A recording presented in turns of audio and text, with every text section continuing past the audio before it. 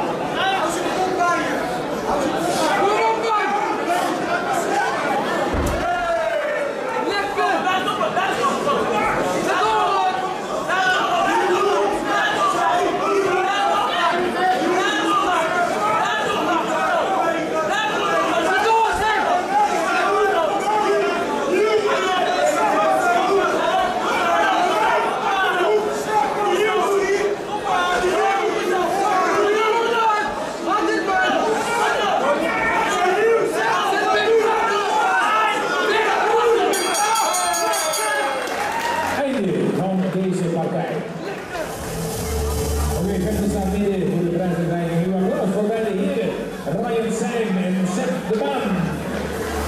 Winnaar van deze partij is de jongeman vanuit de Blauwe, Ryan Seim.